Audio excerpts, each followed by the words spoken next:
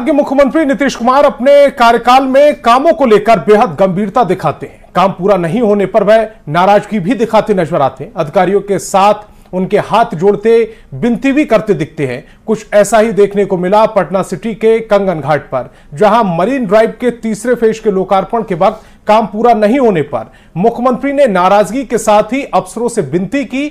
सवाल यही कि आखिर अधिकारी मुख्यमंत्री की सुनते क्यों नहीं?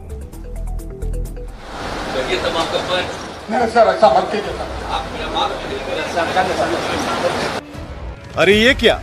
बिहार के मुख्यमंत्री नीतीश कुमार ये क्या कर रहे हैं? हाथ जोड़ रहे हैं। मगर किसके सामने? और क्या नौबत आ गई कि मुख्यमंत्री को किसी के सामने हाथ और पैर पकड़ने की ज़रूरत आन पड़ी? और ये सब दोनों डिप्टी सीएम, बिहार विधानसभा अध्यक्ष और सांसद रविशंकर प्रसाद के सामने हुआ। हैरानी उन्हें भी हो रही है कि ये हो क्या रहा है?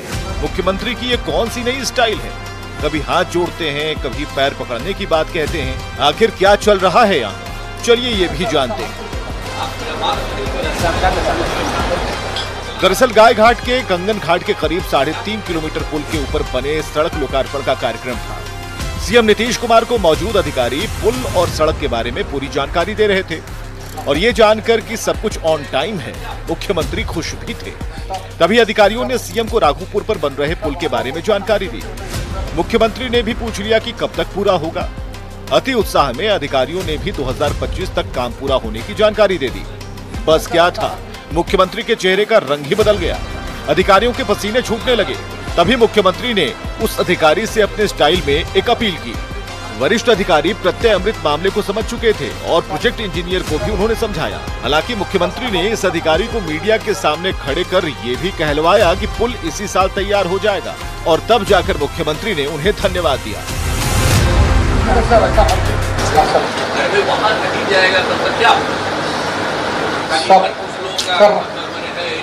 सर राघोपुर का कनेक्टिविटी हो जाएँगे ये तमाम नहीं सर ऐसा मत कीजिए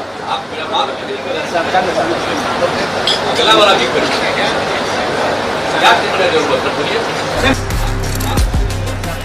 इससे पहले भी सीएम से जुड़ी ऐसी ही अपील वाली तस्वीर सामने आई थी। कुल मिलाकर मुख्यमंत्री बिहार के विकास कार्यों के प्रति अपनी सजगता जता रहे हैं और संबंधित अधिकारियों को ये बताने की कोशिश कर रहे हैं कि जो भी काम बचा है, उसे समय से पहले ज़रूर करवा लें।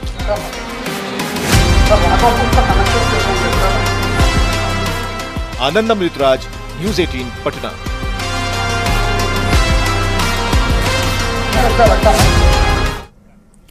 सीएम नीतीश के अधिकारियों से हाथ जोड़कर विनती करने पर तेजस्वी ने निशाना साधा। तेजस्वी ने सोशल मीडिया एक्स पर पोस्ट कर कहा कि इतना असहाय, अशक्त, अमान्य, अक्षम, विवश, बेबस, लाचार और मजबूर कोई ही मुख्यमंत्री होगा। जो बीडीओ, एसडीओ, थानेदार से लेकर वरीय अधिकारियों के सामने बात बात पर हाथ जोड़ने और पैर पड़ने की बात करता है। मुख्यमंत्री नीतीश कुमार की कोई सुनता ही नहीं है।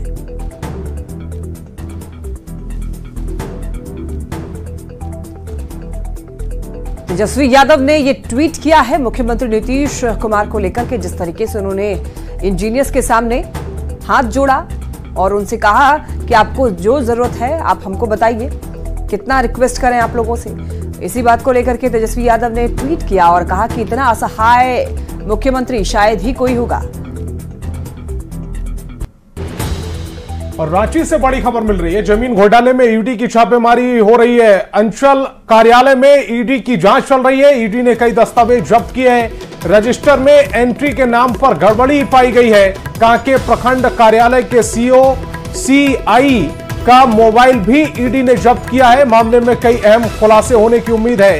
कमलेश और कांके अंचल का गठजोड़ के खुल अ, तार खुल रहे हैं। ग्रामीणों के चुनाव बहिष्कार के कागज़ भी ईडी ने जब्त किए ज़मीन पर हो रहे अवैध कब्जे को लेकर ग्रामीण ने चुनाव का बहिष्कार किया था। ग्रामीणों का आरोप यह है कि अंचल कार्यालय और पुलिस मामले की लीपापोती कर रही है। तो बड़ी खबर आपको बता रहे हैं। सीओ सीआई का मोबाइल जब्त कर लिया गया है।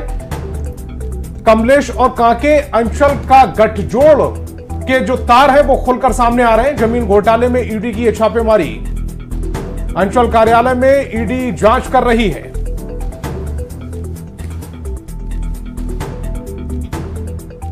झारखंड में विधानसभा चुनाव की सरगर्मियों के बीच बड़े भाई, छोटे भाई की चर्चा फिर से होने लगी है। जेएमएम ने चुनाव से पहले बड़ा ऐलान कर दिया है। तो कांग्रेस और आरजेडी ने भी अपना अपना दावा किया है।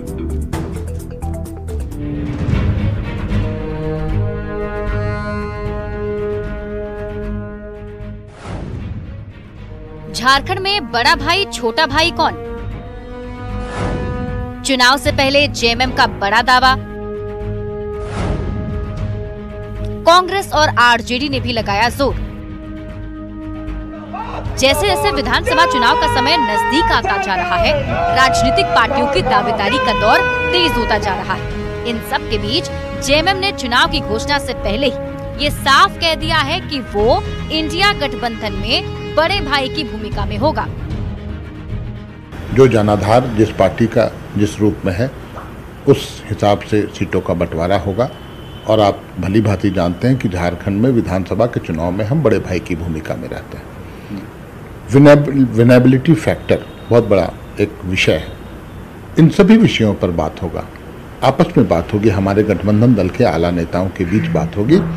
और जो वास्तविक स्थिति है, धरातल की स्थिति है, कौन कहाँ से जीत सकता है, कौन मज़बूत स्थिति में है, उस आधार पर सीटों का बंटवारा होगा। जेएमएम के ऐलान के बाद इंडिया गठबंधन में शामिल कांग्रेस और आरजेडी जैसे सहयोगी दलों की बेचैनी भी बढ़ गई।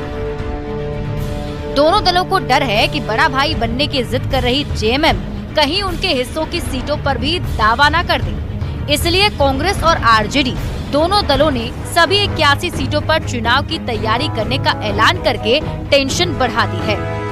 कांग्रेस पार्टी इक्यासी सीट पे बहुत ही मजबूती के साम, के साथ काम कर रही है और हर बूथ पे उसको और मज़बूत किया गया है। तो हमारे लोग तो इक्यासी पे बहुत मज़बूत हैं।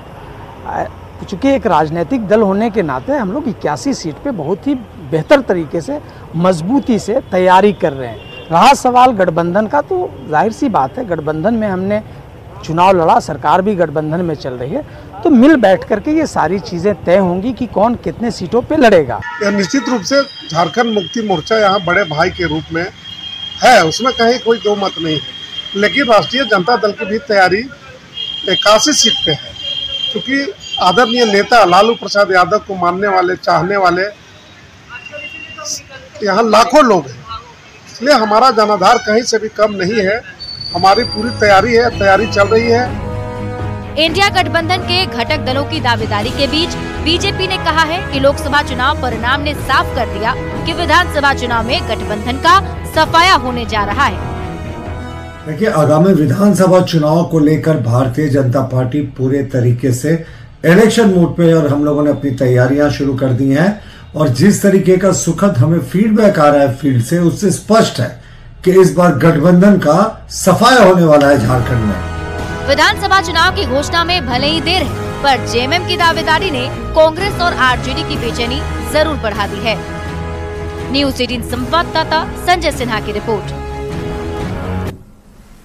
और मुंबई में रिलायंस इंडस्ट्रीज़ के चेयरमैन मुकेश अंबानी के बेटे अनंत अंबानी की शादी से पहले शिव शक्ति पूजा रखी गई और ये पूजा मुकेश अंबानी के घर एंटिलिया में की गई। शादी समारोह के लिए मुकेश अंबानी के घर को भव्य तरीके से सजाया गया। मुकेश अंबानी और नीता